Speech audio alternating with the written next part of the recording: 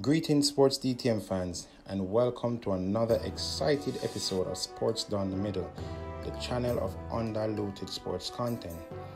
Now, Jamaica 800 meter finalist Natoya Goule is set to compete in the Wanda Diamond League in Rome, Italy.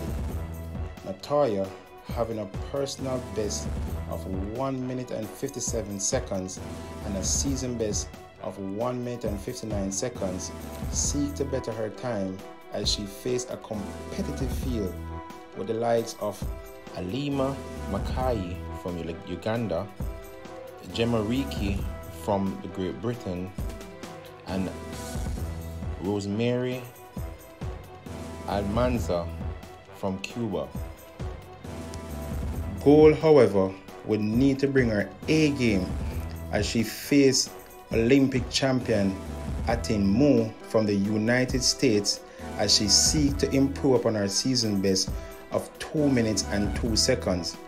Trust me, DTM fan, this race is not a race you want to miss.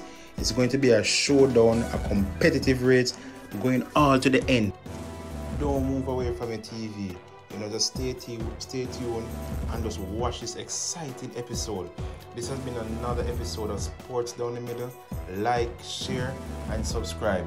Be blessed.